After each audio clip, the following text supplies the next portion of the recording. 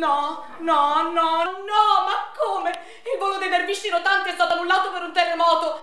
E io questi come li faccio arrivare? Un testo di stretta attualità che permette anche di effettuare una sorta di indagine, se vogliamo, dal punto di vista psicologico per quanto riguarda eh, i personaggi che sono in scena. Offre tanti particolari spunti, la strategia del colibri, ma che storia viene raccontata esattamente? Ma la storia è un'ipotetica e fantascientifica, ma non troppo remota eh, dalla realtà attuale, eh, organizzazione di una conferenza per la pace a livello mondiale, quindi i più grandi leader di pace insieme ad altre figure vere o presunte, perché c'è anche Babbo Natale con le sue rene, ci sono fakiri, indovini, oncologi, c'è un po' di tutto, si, si parla del futuro del pianeta, come salvare il futuro del pianeta.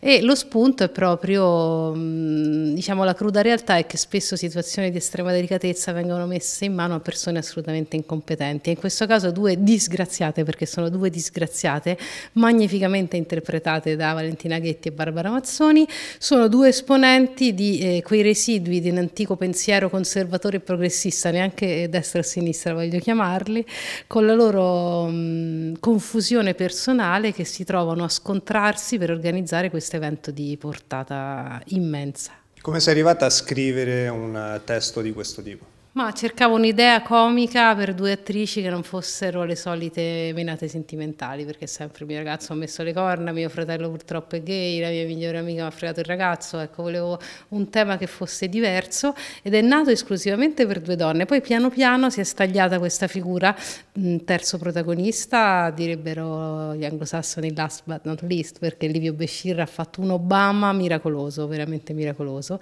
tra il magnifico, l'ipocrita, il manipolatore, lo splendente e quindi si è creato proprio un triangolo che Max Fado con la sua regia ha reso eh, più una visione che uno spettacolo, mi sento veramente di dirlo.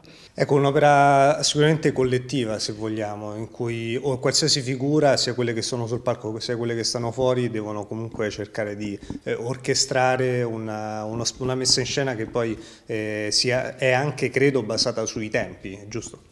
Sì, sui tempi assolutamente è la mano di Max Vado che ha dettato legge, io gliel'ho lasciato fare volentieri. Per me il teatro è, è prodotto collettivo, basta che mi insomma, l'assoluta e dittatoriale proprietà di un'idea che non sia mainstream, perché più sono strane le idee più mi diverto, e, e poi possono fare un po' quello che gli pare. E credo che l'abbiano fatto e credo e spero che si siano divertiti come il pubblico a quanto pare, perché abbiamo avuto una breve presentazione che ha avuto un ottimo riscontro. Ecco, concludiamo parlando anche della location, i giardini della Filarmonica, che effetto fa portare un testo di questo tipo in una cornice del genere? Mm, felicità è la parola giusta, infatti ringrazio Carmen Pignataro con l'organizzazione dei solisti che già l'anno scorso mi, mi, diede la possibilità di rappresentare un mio testo su Anna Freud, anche lì un'opera non facile, questa se vuoi è un pochino più facile anche se solo di facciata e andò bene, fu una grande soddisfazione, io sono contenta, insomma spero che tutte le persone che sono rimaste a Roma e hanno caldo escano la sera. Abbiamo perso fin troppo tempo, ora andate il mondo vi sta aspettando.